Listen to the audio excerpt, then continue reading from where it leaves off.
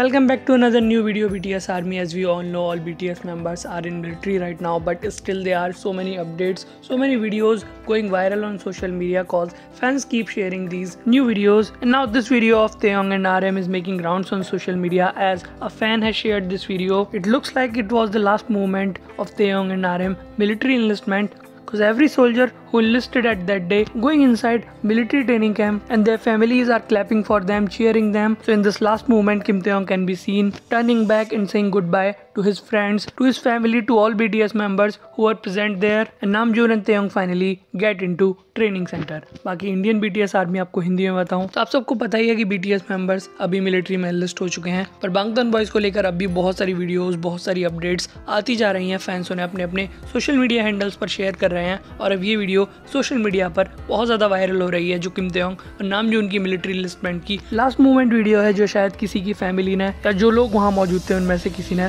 Record किया है, जिसमें तेयोंग और नामजून बाकी सभी सोल्जर्स के साथ अपने ट्रेनिंग सेंटर में जाते हुए दिख रहे हैं। बाकी जो भी सोल्जर्स अपना अपना सामान लेकर ट्रेनिंग सेंटर के अंदर जा रहे थे, उनकी फैमिलीज़ उन्हें सपोर्ट करने के लिए चीयर कर रही थी क्लैपिंग कर रही थी और त्योंग भी इसी दौरान अपनी आखिरी मोमेंट में पीछे मुड़कर अपनी फैमिली को, अपने दोस्तों को हाथ हिलाकर गुड बाय बोलते हैं और फाइनली नामजून और त्योंग मिलिट्री सेंटर के अंदर चले जाते हैं। बाकी फैंस उनका सारा शेड्यूल और अरेंजमेंट भी ट्रैक कर रहे हैं कि बीटीएस मेंबर्स क्या खा रहे हैं, कैसे रह रहे हैं। उन्हें नाश्ते में क्या मिलता है, डिनर में क्या मिलता है, उनका रूटीन क्या है, वो सुबह से लेकर रात तक क्या क्या करते हैं, ये सारा रूटीन मिलिट्री वाली ऐप पर दे रखा है। तो अगर आप चाहते हो कि मैं इस पर वीडियो कवर करूँ तो अपनी अपनी राय कमेंट सेक्शन में ज़रूर बताना।